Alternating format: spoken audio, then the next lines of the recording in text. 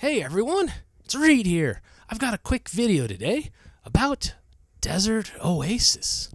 I decided to take a quick little jaunt over to a place real close to my house, just a couple miles away, and show you guys this nice, nifty setup we got going here. We got ducks, we got quacking, we got geese. All sorts of little ducks show up in the beginning of the season. They're happy, they love to hang out here. Now, this area is run by a state agency, and they actually have in the mountain in the background, there's a huge amount of runoff that gathers. And they trap all that uh, good chunk of the runoff, put it into an irrigation pond, and then it's used to feed these ponds, water all these trees, all the greenery, and everything else. And there's a lot of neat stuff over here. It's really nice.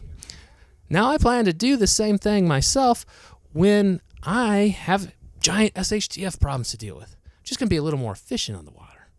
Anyways, I thought you guys might like to see this, to see that a desert doesn't have to look like giant brown everywhere. And we'll be visiting other locations. Hopefully, this is slightly interesting to you, and hope you have a great day. This is Reed, out for now.